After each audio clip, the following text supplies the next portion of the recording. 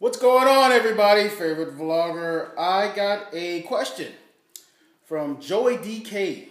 Joey DK wanted to know, said, in your last video you showed you had some type of gruesome, I use gruesome very lightly because it's not the word he used, uh, toe injury. And he wanted to know, how does my job handle stuff like that?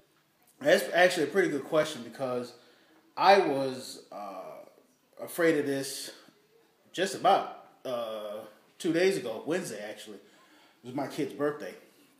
Um, over here in Denmark, uh, the situation with the medical scene slash your job is a lot different. I know, like in the states, like you got like two weeks, something like you got two weeks of like sick leave or something like that. And if your sickness or illness is longer or takes longer than it's supposed to, they want to see a doctor's note right away. Over here, I was worried about that but it's it's really it's really more beneficial for the person that's hurt. Um, in the case of my foot, uh, three weeks ago, Wednesday was when I had this surgery done. Now, specifically, uh, the doctor was saying uh, the time that I'd be uh, not able to be agile or to be mobile on my foot was Wednesday. Oh, excuse me, three weeks. I apologize. Three weeks. It's long over three weeks now. It's actually three weeks this past Wednesday. But there's something that's within my contract of my job, which states that if anything goes longer than that, my job, now I'm saying this so you understand, my job, Mitarbeiter, um, it's them that have to get this information from a doctor. If I'm unable to work longer than what I'm supposed to be, so it's been three weeks. So let's say I go a whole month let's say I go whole month without working. After a while, my job is going to be like, hey, can we see some type of documentation, something that states, you know, how long this is supposed to be? I was panicking because in the states, it's it's flipped. You, the the worker, has to get provide. It's it's basically the same, but you, the work, has to provide documentation. Say, okay, my timetable looks like it's going to be even longer than stated by the doctor. If the doctor says three weeks, after those three weeks, you have to go fucking back to work. That's how it is in the States. But in a situation where you have uh, longering, I guess, pain or, or it takes longer than it's supposed to be and it hinders your work. For example, I work at a um, det hedder en pluk og fabrikken.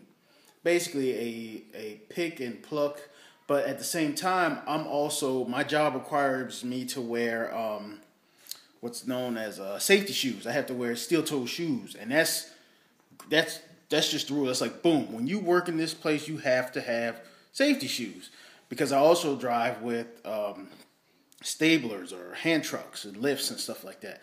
So it's super important that I have to have that footwear.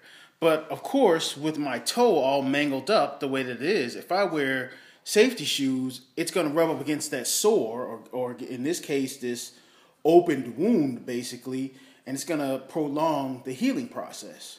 So I hope um, that you understand what I'm trying to say, Joey. Uh, well, you say you're in Denmark, but you could be somebody that's just new or moving to here. So I hope you understand. For, for those of you that are in like Joey's situation, read your contract if you get a job, first off, you get a job, congratulations.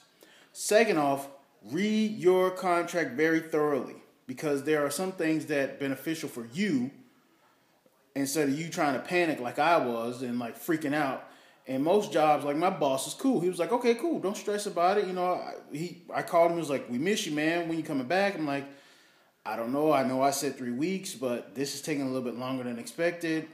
You know, as long as you call in and tell them, or you know, you're not bullshitting them around. And plus, my doctors know I've basically called them almost every other day and say, okay, what does the timetable look like? That the doctor can't give you a specific answer. It's you, the patient, that knows your own body. So in the case of my foot, it's a it's still hurting. B it's for lack of words still leaking. So you know, these type of situations, you know, I'm walking on the side of my foot. And if I wore safety shoes, I would ruin my feet and the shoes. So, Joey, just like I said, read your contract and you should be fine.